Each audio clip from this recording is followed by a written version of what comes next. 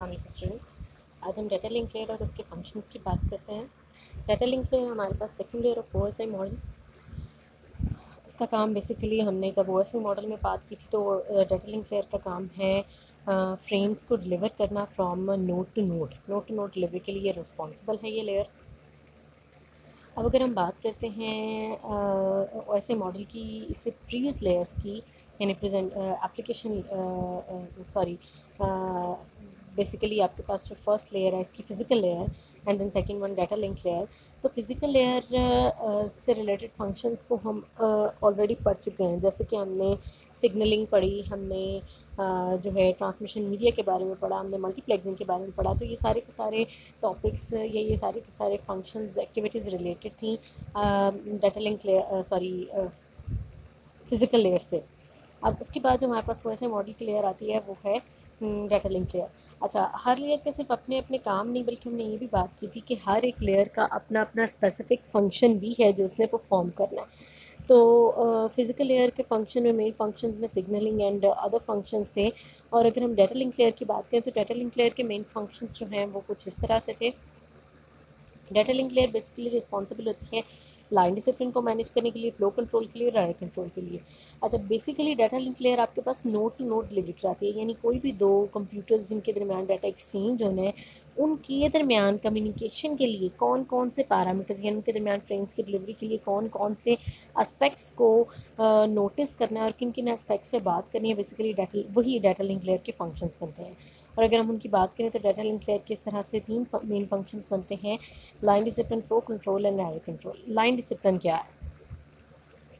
Line discipline basically ये बताता है कि दो भी, कोई भी दो पार्टीज़ जो कि एक लिंक के साथ कनेक्टेड हैं जिनमें एक ट्रांसमिशन मीडिया पे डाटा को सेंड करना है, वो उस ट्रांसमिशन मीडिया को दो कम्युनिकेटर्स में से सेंडर एंड रिसीवर में से किसको परमिशन है उस मीडिया को एक्सेस करने की यूज़ करने की, ये डिसाइड किया जाता है लाइन डिसिप्लिन में।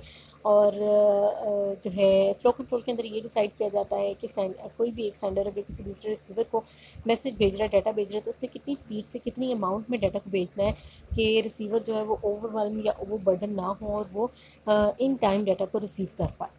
थर्ड फ़ंक्शन जो डाटा लिंक लेयर का है, वो है आई को कंट्रोल करना, जिसके अंदर ये देखा जाता है कि अगर मैसेज जो है रिसीवर को जो रिसीव हुआ है, कहीं उस मैसेज के अंदर कोई एरर कोई प्रॉब्लम तो नहीं है। अगर एरर है तो उसको फिर डिटेक्ट कैसे करना है और उसको करेक्ट कैसे करना है, ये डाटा लिंक लेयर का काम है।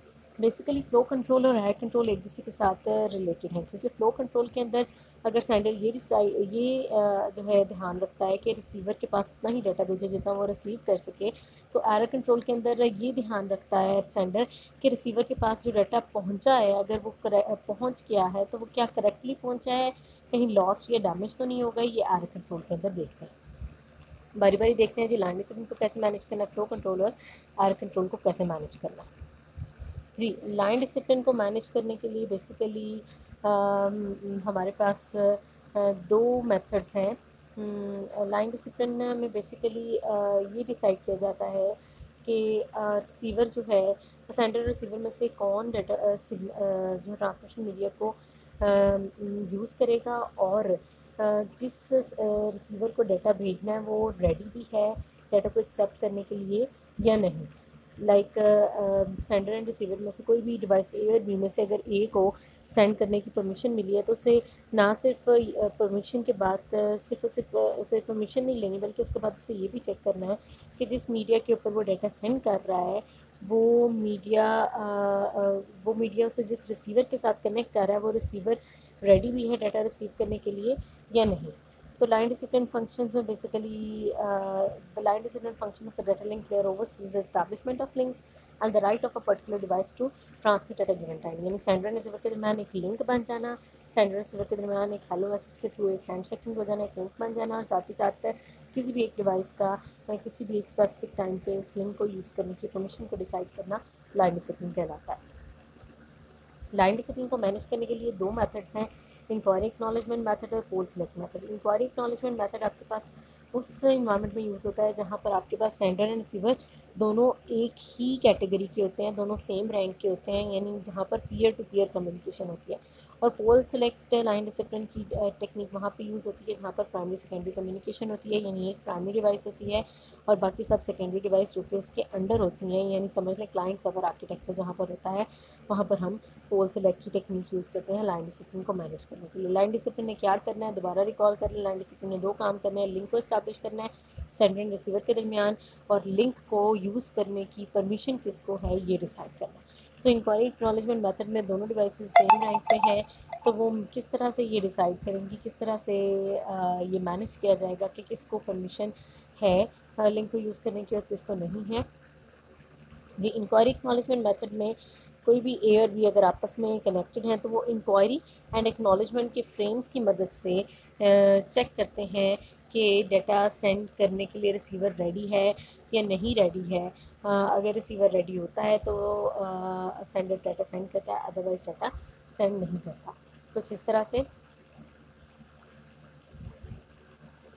जी, लेकिन कोई भी एक सेंडर ए और सेंडर बी आपस में स्टेशन ए और स्टेशन बी आपस में कनेक्टेड है, जिसमें से लेट से ए को परमिशन मिली है लिंक को यूज़ करने की। अब ए को ट्रांसमिशन मीडिया पे एक्सेस तो मिल गई है लेकिन ए ट्रांसमिशन मीडिया को यूज़ करके डाटा सेंड करना कब शुरू करेगा? जब तक वो बी से इंक्वायरी ना कर ले कि whether B is ready and available to you to receive the data और नॉट में भी हो सकता है कि बी बिज़ी हो बी उस वक्त अवेलेबल ना हो। अगर तो बी अवेलेबल होगा फ्री uh, होगा तो बी उसको इंक्वायरी के रिज़ल्ट में एक्नॉलेजमेंट का मैसेज भेजेगा। जब ए को बी की तरफ़ से इंक्वायरी के बाद एक्नॉलेजमेंट का मैसेज मिल गया तो यहाँ पे लिंक इस्टेब्लिश हो गया। ठीक है? सबसे पहले ये देखा कि इस लिंक को यूज़ करने की परमिशन किसको मिली? लेट से ए को मिली। अब ए ने बी को इंक्वायर करके बेसिकली बी ए ने बी के साथ सबसे पहले कनेक्शन बनाना है। और उसमें उसने क्या करना है? बी से पूछना कि क्या तुम फ्री हो? क्या तुम अवेलेबल हो डाटा को रिसीव करने के लिए? बी अगर उसे एक्नॉलेजमेंट भेजेगा तो सेंड स्टेशन ए उसको फर्दर उसको डाटा मैसेज भेजना शुरू कर देगा। क्योंकि लिंक इस्टेब्लिश इस्टेब्लिश हो गया। जैसे जैसे स्टेशन ए डाटा सेंड करता जाएगा स्टेशन बी जो है उसे एक्नॉलेजमेंट के रिप्लाइज भेजता जाएगा। Similarly data and acknowledgement data and acknowledgement के मैसेज भेजते मूव होते जाएँगे। और जब ए कम्युनिकेशन को ख़त्म करना चाहेगा तो वहाँ पे वो एक टर्मिनेशन के लिए एंड ऑफ़ ट्रांसमिशन का मैसेज ईओटी का मैसेज लास्ट पे भेज देगा, जिससे क्या पता चलेगा कि आप कम्युनिकेशन ख़त्म हो गई है now A do not have any further data to send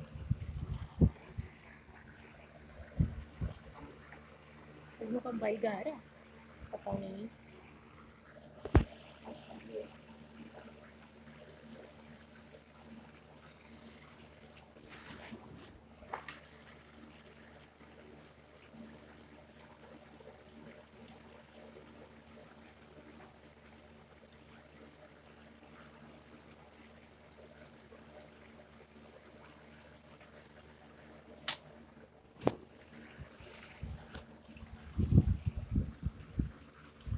ji enquiry acknowledgement के बाद इंक्वायरी एक्नॉलेजमेंट में अगर तो स्टेशन ए स्टेशन बी को मैसेज भेजता है और स्टेशन बी लेट से उस वक्त रेडी नहीं है डाटा रिसीव करने के लिए तो वो कभी भी उसको एक्नॉलेजमेंट का रिप्लाई नहीं भेजेगा, बल्कि उसे नेगेटिव एक्नॉलेजमेंट का रिप्लाई भेजेगा। जिससे लिंक इस्टेब्लिश नहीं होगा और जब तक लिंक इस्टेब्लिश नहीं होगा, तब तक कम्युनिकेशन स्टार्ट नहीं होगी। ये है inquiry acknowledgement method line discipline को मैनेज करने के लिए।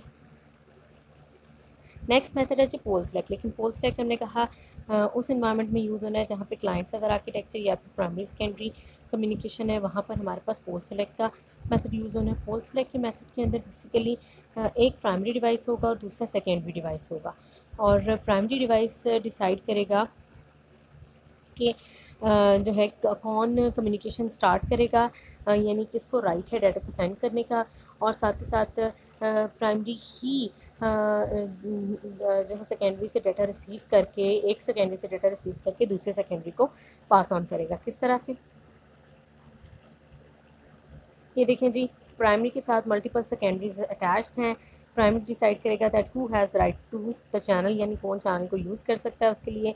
बेसिकली uh, प्राइमरी क्या करता है? पोल और सिलेक्ट की टेक्निक यूज़ करता है। पोल वो क्या करता है और सिलेक्ट में वो क्या करता है? देखते हैं जी पहले पोल को देख लेते हैं फिर सिलेक्ट को देखेंगे।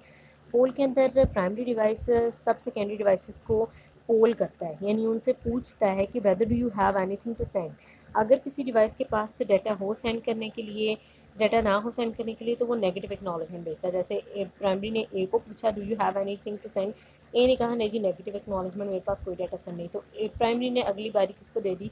बी को दे दी। बी को जब उसने पोल किया बी ने उसको रिस्पॉन्स में नेगेटिव एक्नॉलेजमेंट के बजाय डाटा भेज दिया जो वो भेजना चाहता है किसी भी अदर सेकेंडरी को।